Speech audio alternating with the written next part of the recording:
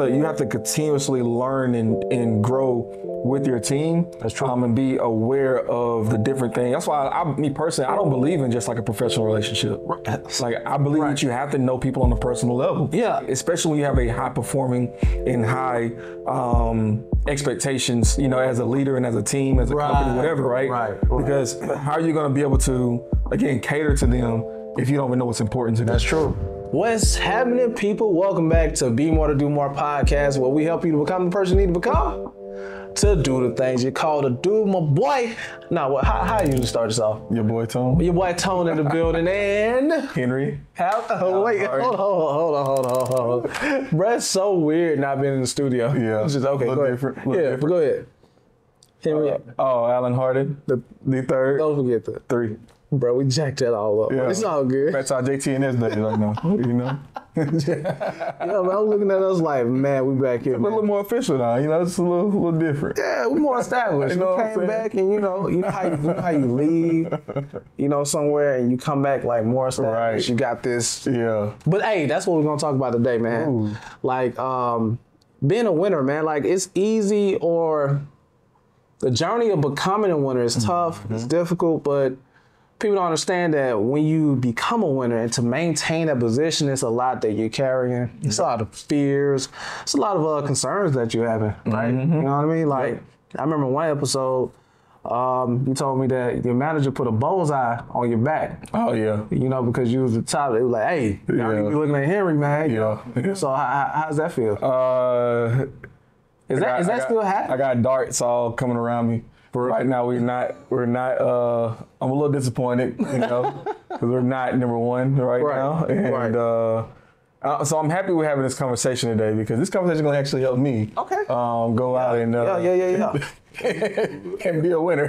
so, so, well, to maintain your winning position, Yeah. because you already won a man. Know what I mean? Uh-oh, it's just, it's just that it's just that people are like they at you right now. yeah, You know what I mean? yeah. What they say, uh, heavy as the head to wear the crown. That's what they say. Yeah. that's what they say. Yeah, yeah, man. So we want to get into it. Y'all got fears of, you know, losing your spot. You got fears of um, trying to maintain that spot, and you, you see that person right behind you, right on your neck, man. But we're gonna talk about how to ma- maintain that winning position today, man. So Yeah, I like it. let's get into it, bro. Let's get into it, man. Cool. So first, I want to start off with talking about the fears of maintaining that winning position and the effect of that mindset while in the winning position. Mm-hmm. Because oftentimes, sometimes we get in a position of winning. I know my default. I'm not competitive, right? By na- like I'm more cooperative Really? yeah, I might be a little competitive. But if I'm number one, it's like, I don't know by default. I think because I fear that I can't maintain the position, Yeah. I just let go. Yeah. You know, that's my default. Is it like a self sabotage type thing, or think it just is. yeah? I- so I so I just let go, man, because for one, we deal with um what do you call that, man? Um not winner's remorse, but um Survivor's remorse. Survivor. No, no, yeah, survivor's more. That should be a new thing. Winner's remorse. Winner's remorse. episode. That's the episode. Title. Yeah, yeah, Winner's yeah. Remorse. but I deal with um, what do they call that, man? When you feel like you're not qualified to win. uh huh. Um. Dang.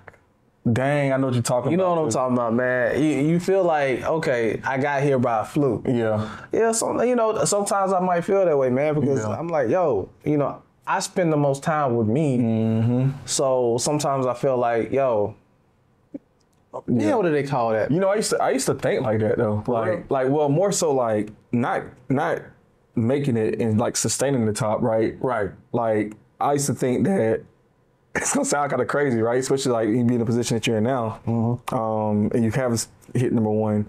I used to be like, man, like I don't think I ever hit number one. Like I'll like I'll, I'll never be like the best person, right? Right, like, right, Like I'll never be number one. Right, right. And uh, I just it's crazy because like you know you you kind of had it in the back of your mind in a sense, right? Like, but Yeah. your work and like what you project and what you say Right. is different. So you end Yeah. up getting the result that you never thought you could. It's kind of crazy. Talk- kinda crazy. okay, it makes sense because we talk about this all the time. Like, I'm a good number two.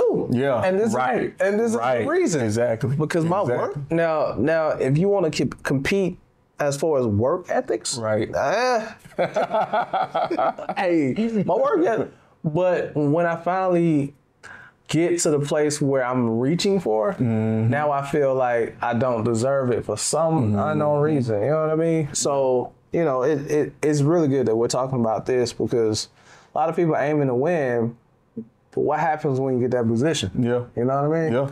So yeah, um, so that's my thing, man. Um, eh, it's not something that I'm. How can I say this? It's not something that I'm not aware of. Right. So if I am, just you know, in case you're thinking, you know, if we compete and you feel like I'm on top and I'm gonna just give up, it's not gonna happen because I'm aware of these things within myself. So I'm gonna go extra hard. You know. Yeah. Anyway, uh, I just want them. Let, no, let, let, let me, let me put you on notice right now. I gotta clear. I gotta clear that up because oh yeah, I got one. Nah, brother. Nah, nah, nah. But yeah, man, that's just one of my defaults, man. So Yeah. yeah. Yeah, I, mean, I think I think uh, you know it's it is it is uh, it's, it's it is interesting, right? And then being able to maintain that that number one position because you know just I just think again you know again selfishly, right? Selfishly on this on this uh, this episode, right? Like you know we we were number one in August, dropped number two in September, and then you know I can't remember where we ended it in October, maybe. But I think in the first quarter though, right, we ended third overall. Right. So it's like, and I'm looking at, you know, we're looking at this next quarter, right? Um, and it's like, dang. And you look at kind of results that you've that you're at, and it's Right. not really. And so you start to get almost fearful Right. of like that's what it is. of like, like like I like being number one, but man, like how in the heck do I do it? Like I just you know, so that's the Right, point. Like, right. and you looking at the you looking at some of the results. It's like okay, we got to change this, we got to change that, we got to do like these these are the metrics that's going to help us get there. And it's like, Mm-hmm. what do we what behaviors do we have to drive to be able to, you know, s- s- uh, shift Right. those results from where they're trending at to get into where you need them to be at to be on top, Right. or to get back on top. Man, that sounds uh sounds like a lot, man. It's a lot. a lot of pressure. How, how's that affect your team too? Like, I mean, because I know for sure, like in leaders, like in the leadership position, like you mm-hmm. are the forefront. You're pre- pretty much the face. Mm-hmm. You know what I mean? So like. Mm-hmm. When people say, "Oh, they're number one," they say, "Oh, Henry, them number one." You know what I mean? so, with all that pressure that you have to face, how does how does that affect your team? Do they feel that pressure, or do they feel it coming from you? I, th- I think it's I, and this is why you got to make sure you hire like the right people. I think naturally the people that we have are winners, Okay. right? Oh, and okay. Okay. um, you know, like, and so I think you know that coupled with them seeing the vision, understanding really every every you know why we do what we do, and I think they they they definitely feel it, right? But they're able to handle it because they want to win as well. That's true. So I think you know, just in my opinion, right? Um, my thought leadership opinion, Ah, come on, a leader. but I, Oh, in, all, in all seriousness, though, just Right. it it does make it um, it's not as stressful for them because they get they get why. Oh, okay. You know? Okay, okay. I know, man. Like, and on my end, because I was just thinking about it too. It's not that I'm not competitive when I'm in number one. I just had. I think it's my calling, man. I have this desire to teach everything. Mm-hmm. You know what I mean? So if I become number one, it's not that I'm looking at you as a competitor now. I just let me show you how I did it. Yeah. You know what I mean? So you So- feel like you don't you won't teach, I, I will teach. you will teach, That's the thing. and you feel like that's going to that hinders you. No, I don't think it hinder, hinders me, but my mindset shift from foot on the gas to come on, bro, let me show you how to. Oh, you know what I mean? Let's everybody win. Come on, guys. Hey, let's, hey, we, we made it. but they might not have the same intentions, you know what I mean? Yeah. But at the end of the day, like, when I'm competing, it's always me against me. Mm-hmm. So if I see you on top, I'm not going to, after I taught you what I know, Mm-hmm. if I see you on top, I'm not going to say, I need to catch back up with them. I'm gonna say, okay, what can I do differently? You mm-hmm. know what I mean? I made it to this point by doing this. Now I'm realizing it's a new season of my life. I probably have acquired more skills, even more skills in teaching. Right. So how can I teach my team to do what I've taught this person so that we mm-hmm. can now bypass that person? So you're saying from your team, like like you want your team, everyone on your team to kind of come along too. Yeah, my team, but not not only my team, but like competitors. Competitors, too. You know, it, it depends. It depends on who it is. You know, like yeah, I mean, if you're a butthole, What, nah. what, what are the criteria? yeah, man. If butt, it, it depends on who you is, man. Because some people, man, you just feel that envy, jealous. You know what I mean? But if it's a friendly competition, now let's talk about it. Hey, this is what we can do. You know what I mean? But if you got all those extra negative um, spirits. Behind you, man, like you know, jealous and envious and all that, man, I ain't, I ain't really trying to fool with you, man, because by all means, you would do whatever you need to do to take me out, mm. and, and I'm just talking about period, take me out. You know, so I ain't trying to deal with that, but. You know, if it's a friendly competition, man, I'm gonna help you. You know, I'm gonna let my guards down. Hey, let's do this together. Then, you know, if you can beat me, good. Right. Now let me come up with something else. Right. So I'm all. I guess is is a part of my evolution too. Right. You know what I mean? Like I don't want to constantly win the same way. I know it's multiple ways to win. It get boring, right? Like, Yeah. you win, like you win the same way as like, Yeah. you know, mm, eh, I could do that way. We know it's gonna get a result, but like, okay, because I, I think about it like this, right? Um, you take you know, and you know, I, I hate to date the, the podcast a little bit, but you know, the um, there was a there's a game against uh, the Iron Bowl with Alabama and Auburn, and um, Auburn or last play of the game virtually, right? Last play of the game, Alabama throws the, uh, um, you know, they're down, I think by like four or something like that. I don't remember. but Right. They got to score a touchdown to win. Hmm. So field goal won't help, right? So they throw the touch. I mean, throw the, it's last play of the game. Auburn, and this is actually it's kind of it's kind of both both ways. You kind of look at it both ways, right? You got Auburn. Uh-huh. Well, I mean, all right. Let me let me let me get let me get the story first, and I'll come back to it. The last play of the game, Alabama has the ball. Right. They need a score to be able to to um, to win the game. Mm. They're in field goal range. Field goal won't help. Okay. Right. Quarterback gets the ball, mm-hmm. has all day to throw the ball. Kind of scrambles around a little bit in the pocket, moves his way up and down, throws the ball. Oh, that was a dope. Play. Right. Mm-hmm. Receiver in the corner of the end zone, touchdown. Right. Alabama wins. Right. And they go on to the you know college football playoff. Right. Right. Who they played? They beat Georgia, and now they now they you know they're they're you know so you know we'll see we'll see what that what that turns out into. But like the thing the thing is that um the thing is is that there's there is a, there's a post game interview, Right. and in the post game interview, you know they ask I, something along the lines of like you know they ask Nick Saban, hey, how did you do that? Like how did you guys were you guys able to do that? And he tells them, believe it or not, we actually practiced that. Really? I Like, mean, it's so can, many ways to win. you can tell. You can tell they did. Yeah, like, Like it was perfectly in the right. I'm like, the ball didn't go out of bounds. Right. It was right in the right. corner. The receiver bro- knew what to do. Kind of like he kind of pushed off a little bit, you know, and just you know, but like mu- multiple ways to win because Right. traditionally, right, Right.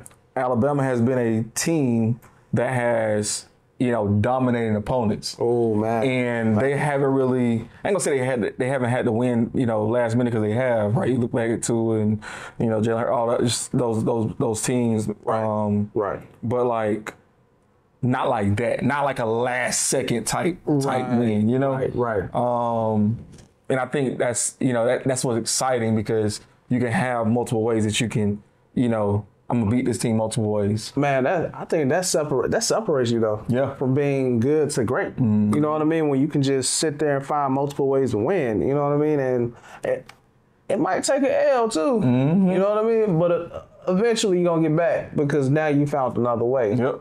If another way don't work, and you because ultimately what happened is that once you win for so long using the same routine, it Right. becomes a trend. Right. Everybody doing. Yep. You know, and now so you you got to find another way. You Yep. know what I mean? So, um, that's good stuff. Yeah, and I and he look at the, the other side of it, right? Um, and not to get too deep into sports, but like Auburn had applied pressure that whole game, got into the guy's face that whole game. That last play, that last drive, they start to relax their, you know, and go into a, you know, prevent defense or whatever, like having every all, all these different safeties and corners in, Right. And nobody's getting pressure on the quarterback. Oh, yeah. So you kind of, you know, you you've been you've been you're up to this point, you're winning the game, Mm-hmm. and you change your your style or you change your your your tactic because it's the end of the game, Man, and that doesn't work, I think in my opinion. I think Saban might have predicted that. Then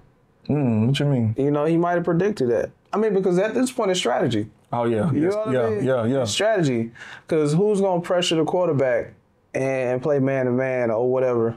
Hold the last second of a. You know Right. who's gonna do that? Right. So people know that.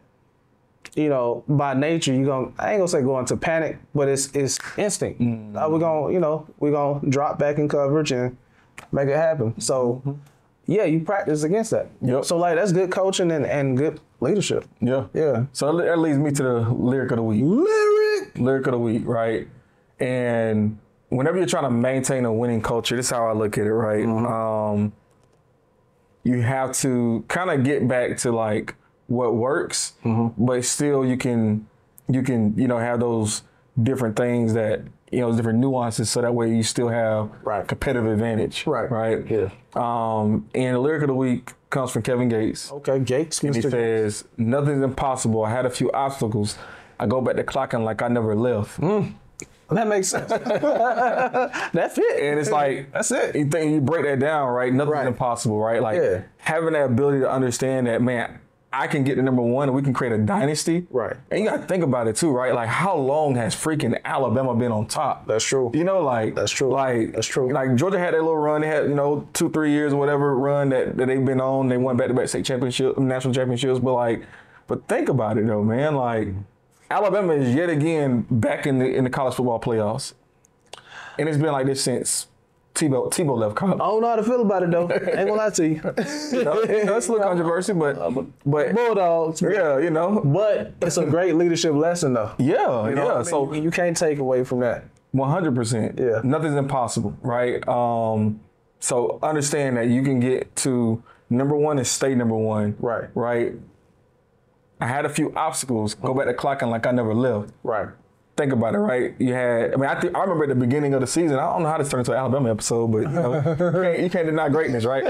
But uh, You a but Bama fan? I'm not. I'm not. Oh, I might okay, be. You know. I might be. Oh, I'm, a, I'm a fan of winners, right? like I'm a fan of winning, and um, I can't say the same for myself. but uh, you know, um, yeah, like they had a few years, and even this year, Right, you look at right, Bama, and people were thinking that man, like, dang, Saban's done. Mm-hmm. Like that was the narrative, right? The first three, four weeks in the in the in the, uh, in the um, in the season, like Mm-hmm. Saban's time is up. He need to go ahead and retire.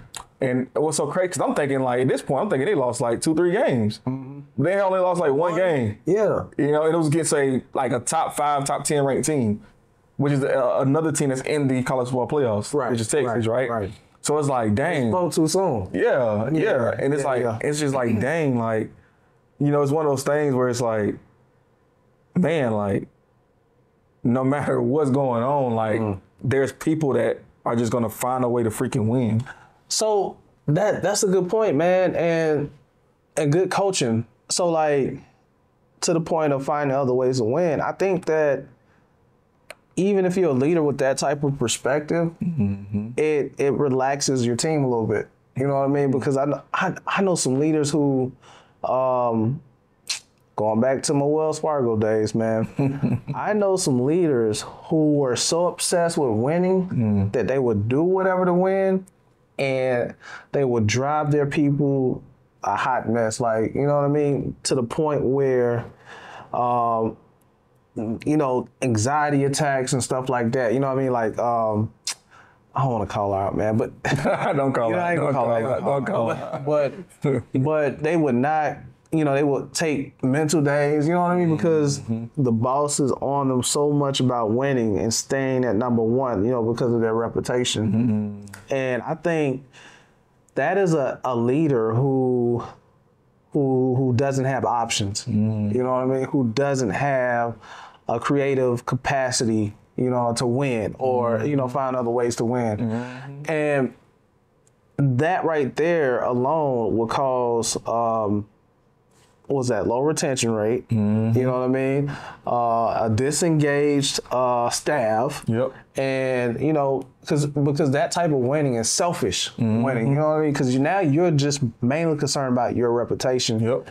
Um, but I'm saying all that to say to say this is that when you're winning, you always should care about the people who are producing for you. Mm-hmm. You know what I mean? One hundred percent. And that kind of takes me to the scripture of the day. Ooh, look at him. You know what I mean? at him. You feel me? Oh, okay, okay. You feel right, Scripture of all the day. Actually, you gave me the scripture, man. I feel bad because No, it's you, man. It's your, it's your thing. It's your he said your thing. thing. All right, I'm gonna give you a lyric next time then. hey, I like this Back, back on reading my Bible a little bit more. You know, just My man, yeah, my man sending me proverbs, man. Hey, I'm gonna tell you, oh, just a little little hack, right? go ahead. If you don't feel comfortable or you don't have the energy to pick up your Bible, that is okay. Mm-hmm. But I'm gonna tell you how to kind of move past that. Cause you're like, man, I, I need to read. I need to read a word. Right. I don't know what to read, and I don't, you know, I read whatever day it is. So if, the, if today is the, you know, sixth of the month, right, or you know, read the sixth chapter of Proverbs, and Dope. yeah, like whatever. And this Pastor, Pastor Brown taught me this. Okay. Um, whatever. If when you read that, I guarantee you that there's something that you're gonna read out of that is gonna be like, man, that hit. it hit. That right. hit. And so just you know, because there's typically 30 to 31 days in a month. Right. There's 30 to 31 proverbs or 31 Oh, proverbs. yeah, yeah, that's true. Right. So whatever day, just read a proverbs a day. I like that. Proverbs a day. I did that Because it's more year. practical. It's a lot of practical. Yeah, I did Proverbs last year, man, up until my son was born. Proverbs, a lot, there's a lot of wisdom, Yeah, man. Yeah. Another another thing, right? And this is something that, and I, I don't know how I 100 percent feel about because I don't necessarily do this, Mm-hmm. but the more, I don't know, I don't know. I'm gonna just say it, but we don't get so caught up in trying to read the King James version Mm-hmm. or the New King James version, like that you kind of because like you go, oh, I want it, I want it raw, like I want it, you know, I want it what you know, not you know, so I want it how it's intended, right? Right. And I think 100 percent you should read those. You should go back to those original kind of versions, but like Right. read. uh, I don't know. if you mean you the, you the reverend, so you know whatever easier version it is, like that can you can understand it Right. in today's time. You know what I'm saying? I think that's also important to know too. Is like don't try to read, don't try to go in there and, and be like you know that art in what you know like it just it go, it go it go to a confusion. Don't get sleepy, man. Yeah, you're gonna, you're gonna get sleepy. So read something that like read a different version of it. I agree. I I know. I would say that I would have said that to my younger self. Right. You know, when I first got saved, and I don't even know if that's when I first got. I probably got saved young, man. But when I finally like committed myself to the Lord, my dad had me reading King James because the the the the the minister we, we was under, the church we was going to, was mm-hmm. strictly King James version. Mm-hmm. So I would have King James and my um, Strong Concordance, the book that I mm-hmm. showed you with the Hebrew and Greek. And that's how I had to learn, man. Mm-hmm. You know, but now we got all these tools and, Yeah. and different versions, man. But today I'm gonna read New King James though. We're gonna do Proverbs 27. We're gonna start at 23. And the word says, Be diligent to know the state of your flocks mm-hmm. and attend to your herds. For riches are not forever, mm-hmm. Nor does a crown endure to all generations. Let me read that again. Be diligent, be diligent to know the state of your flocks hmm. and attend to your herds. For riches are not forever, nor does a crown endure to all generations. See, hmm. when it comes to a winning culture or maintaining a winner co- winning culture, you have to know the state of mind of your your your your flock. You know, mm-hmm. um, the state of mind of your team, of your staff. You don't want to push them so hard. That's it's good to push them, push them past their limits. Mm-hmm. But you're doing this selfish, selflessless. Right. Is that a word? Selflessly, yeah. selfless. Yeah, y- y'all know what I'm talking about. Mm-hmm. Push them past their limits. Let them see their potential, but don't push them so much and so far for your selfish gain mm-hmm. or your reputation where their health or you know what I mean, the state of their family because of the job is began to diminish because of your selfish ambition. Yep. You know what I mean? You have to know the state of your flock because again it says riches is not forever winning is not forever you know um, having a crown is not forever you know what i mean you can't be on top Yep. forever but by my definition what makes you a winner are creating winners you know what i mean Yep. and that leads to legacy leadership Yep. if you get out of the business or if you leave your career or if you retire and you have people who are under you who's winning, that makes you an ultimate winner to me. You know. And you know, that's that's that's just how I feel about that. No, I agree. I agree, man. Uh, and uh, again, just you know, real life, right? Like, I, I think you know when you when you're when you're leading a team, man, you have to be able to understand what's important for them and be able to understand and stay because like things change. Mm-hmm. Like somebody somebody may they may be you know mobile. They may be able to move anywhere, right? They may be able to do anything, right? but then something happens in their personal life that mm-hmm. changes that and now they're tethered to a certain so now the the way that they look at it uh of, the way they look at success is different It's different, right? so now you have to be able to to you know uh, you know communicate your message in a, in a different way than what you would normally communicate Yeah. to that same person. It's like, and so you just you just have to you have to continuously learn and and grow with your team. That's true. Um, and be aware of the different things. That's why I, me personally, I believe in like. I don't believe in just like a professional relationship. Like I believe that you have to know people on a personal level. Yeah. Because Yeah. like especially you know it's just like especially when you have a high performing and high um expectations you know as a leader and as a team as a company Right, whatever right right, right. because how are you going to be able to again cater to them if you don't even know what's important to them that's true. That's true. that's just my particular No, it because that also leads to finding ways to win differently. You know what I mean? Because again, like a season may change for an individual. Yep. But if you don't know that and you're so honed in on winning, Yep. you know, you may drive that person away. And that may that may be your top performing person on your team. But it's always best to know the state of the people that you're over, man. Like I do believe that you have to know um, the personal state or someone personally mm-hmm. too, you know, to, to some extent. Now, I, I don't want to know, you know, when you do laundry. I don't want to know, you know where you go wash your car. I don't want to know all that. You know what I mean? But I do want to know who you are as a person. Right. You know what I mean? Because again, I want to know number one, what your goals and what your values are so that I can push you past your limits so that you can not only win here, but wherever you go, win. You know what I mean? And plus, I need to know how you're able to add to this team as well. So that's what I had. look like. You, you coming up with? You, got some scriptures, man? well no I'm, I'm what i wanted to do was like Why preaching today? Nah, I wanted to look and see like what the like what the you know obviously you just read it in the King James version or the New King James version. Uh huh. Just what's the what's the what's the most popular like just regular you got the NIV, is it NIV? NIV or the Message. I can read either one. Which one is more which one is more like down to earth? I say Do they, do they got a do they got a culture version? Nah, We need to write we need, we need a be more.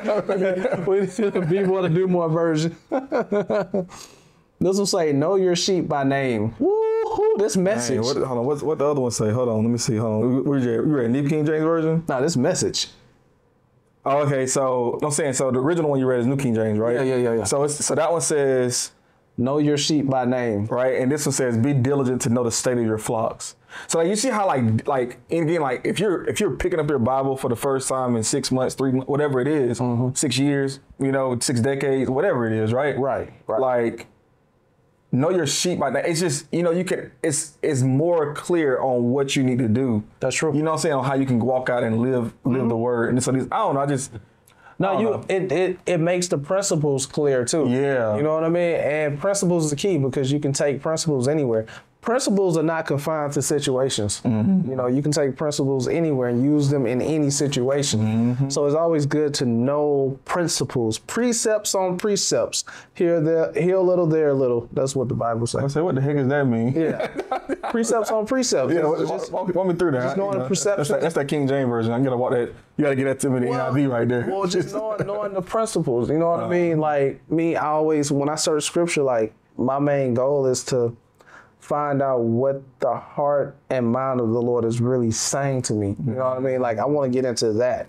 yeah. You know, I want to see, Lord, what are you saying to us? You Yeah. know? Words can only confine find certain ideas. you know? Right. But I want to see like the full capacity of what he's saying when it comes to, to a um, specific principle. So that that's for me. No, I- no, I get it. It reminds me of.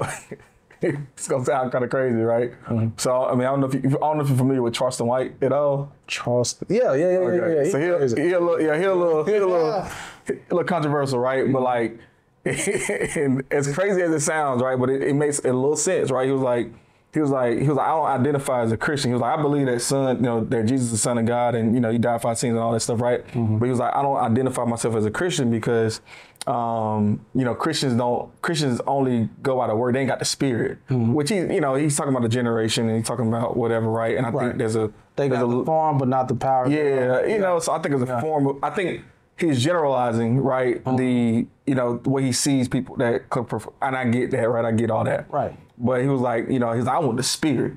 He was like, I don't, you know, I don't want the words. I want the spirit of like, I want Jesus to, you know, like he was like, he was like, uh, he was like, he was like, he's funny, he's a funny guy, man. The funny guy, he's like, you know, you you see, you know, Jesus tell us that we're gonna do more more miracles than he did. Greater works than how, these. how many people you see walking around? How many Christians you see walking around on water? That's a whole nother. You know, that's a whole other nother- top, right? You know what I'm saying? I want to But get like, into that though. but like, it's but just think about it though, right? It's like, but that's why I like what you said about you know you want you want to get what the word is actually saying to you, Mm-hmm. and so you can go live it out and get the spirit of the word, whatever it is, right? Um, Right. And it just reminded me of of something I heard him say. As controversial as my guy is, you know, so I don't know if he's my guy, but you know, Boy, that boy fool, man. yeah, yeah, yeah. Okay, man. So uh, I think we pretty much got what we need to get out of that, man. So what? How can we sum this up?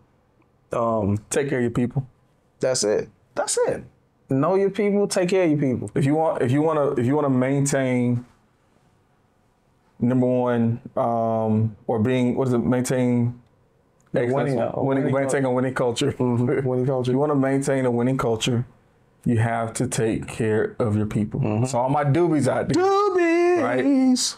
either you're again you're in a leadership position right? Looking to transition into leadership i mean to transition into entrepreneurship right?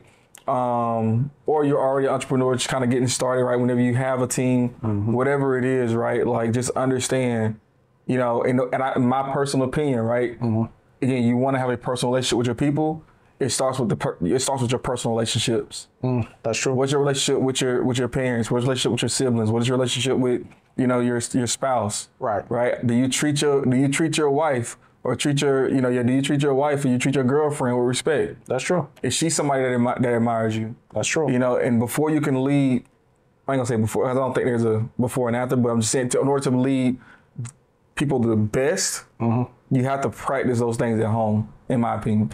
Hey, I agree, man. Also, if you ain't got a relationship with the Lord and Savior Jesus Christ, do that too. Go handle that. Because uh, he gonna give you the spirit, man. Going back to Charleston White, he gonna give you the. Go to the church gonna- open. Hey man, because I'm always for that, and and I mean not to sound too Say churchy, prayer with me. Uh, not not not not to sound too churchy, but the, the, you know, he is the ultimate leader, mm-hmm. and you know, and he he already considered or had a purpose for us before the foundation of this earth. So if you got a team, that means you've been handed a team to manage. You know what I mean? So mm-hmm. it's on you to make sure the state of the people that you're working with is cool. Yeah, it's good. You know what I mean? Because you are responsible for that. But in order to know that, you have to know them. And if, in order to know them, you have to know the one who created them. So that's what I, that's what I got. Yep. And it ain't, it ain't on them to know you. Don't get it twisted, right? It says be diligent to know the state of your flock. Your peoples. Right, like it's it don't say the flock gonna know who you are. Mm-hmm. Like it's it's I'm telling you, bro. Like it's it's so deep. It's so deep, man. People try to, oh man, we would do this if they, would do that. Right. You know, like we'll be here if they would do. Right. No, you got it twisted. You got the Yeah. game messed up. Like that's your responsibility to get on their accord and get them to where you are or whatever you know whatever it looks like. But like Right, that's right. not it's not on your people to get like to like no they're not no no. So You've been handed that uh that um that responsibility. yep, So cool. Well, I'm good, man. That's all I got. I'm good man. Yeah, cool, cool. Y'all be sure to like, share, subscribe to this information. Hit the bell, man. bell. Hit the bell, man. Let's get this information out of here. And um, I think we out. We out. All somebody keep their head up when you concerned about them. Stick and move, we can get it done. Call it unity, it ain't no way around it. Cultivating, we get motivation from the big guy. We don't play about them. Going hard for the game.